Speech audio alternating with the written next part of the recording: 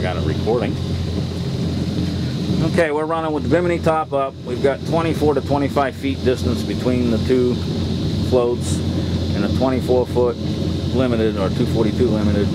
Not in the no wake mode, just idling to demonstrate how maneuverable the boat is with the Cobra Venom steering on it.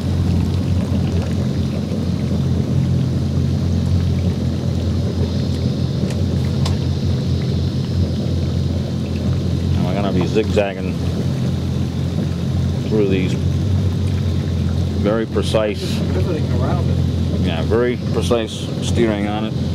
And we've got a pretty good wind coming out of our east. There we go.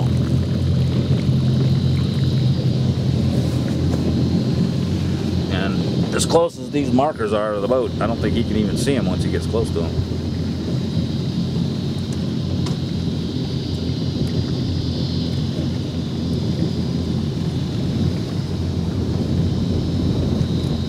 Alright, straighten out right there.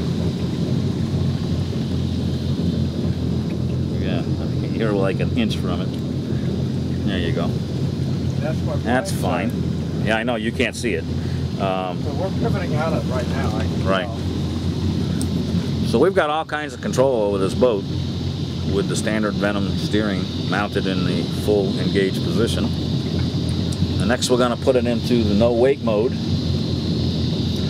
Keep in mind, we got a pretty good wind coming in here and it's uh, pushing this bimini top, so Trying. Trying to duplicate what the average person would experience driving a bigger jet boat with the steering added to it. Okay, straighten now.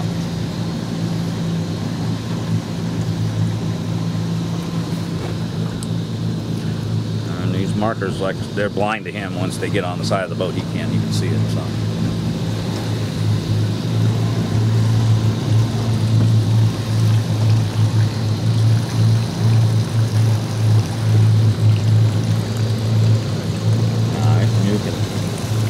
See the wake. See that we're traveling right in between these very precisely.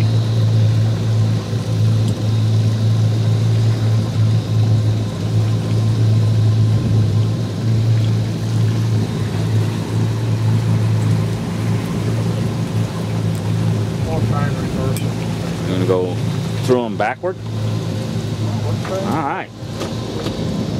Uh, we put some like little kids in the water to make it dangerous. I guess that's no. Now if you, uh, I don't know if you, I know you're short, but if you stand up, you might see the markers.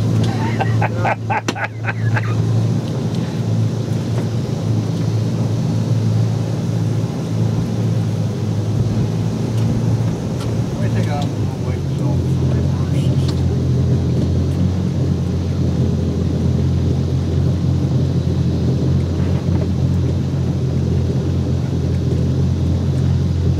Well, at least the wind feels good. Okay, there. See how it it does pull along. Yeah, it'll take a little longer in reverse, especially with the wind pushing us.